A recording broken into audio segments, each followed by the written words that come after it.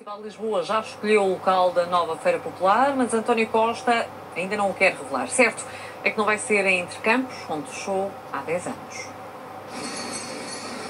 Passaram 10 anos.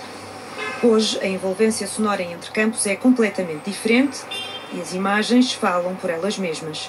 Os lisboetas parecem ainda não ter esquecido aqueles tempos da Feira Popular. Muito menos esquece quem entregou a vida à feira durante 35 anos.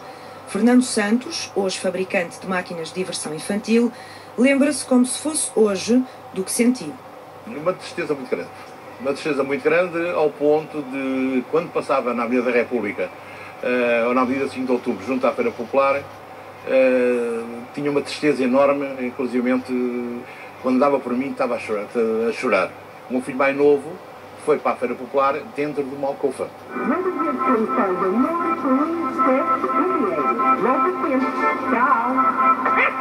A avózinha, que lhe assina, é uma das máquinas mais antigas. Só não leu que a Feira Popular ia fechar. Américo Gaspar tem hoje uma pastelaria, mas durante 27 anos explorou o negócio de carroceiros na Feira Popular.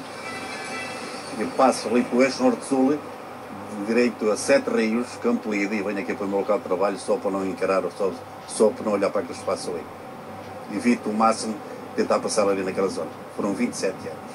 Ainda há bem pouco tempo ouvi o senhor Presidente da Câmara de Lisboa dizer que alguém lhe perguntou, então e a Feira Popular? E ele diz, calma que estás a tratar disso. António Costa continua a tratar do tema, mas não avança para já o local onde vai nascer a nova Feira Popular. Em Sintra, o presidente da Câmara tem em carteira um parque de diversões, mas os projetos não colidem.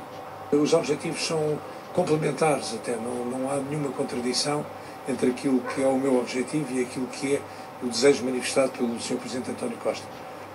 A nova Feira Popular não deve renascer no mesmo sítio. As opiniões dividem-se quando a pergunta é qual o espaço ideal. Tanto o Parque das Nações como o, frisou agora o Jardim do Tabaco qualquer dos locais se adapta exatamente para o efeito, como um parque, como um parque de sessões. O Parque das Nações é uma zona muito cara. temos, que, temos que, como comerciantes que somos, temos que ponderar isso também. O Parque da Bela Vista seria um espetáculo. A Feira Popular volta a abrir no final deste mês para receber o Circo Xen, mas volta a encerrar a 9 de janeiro.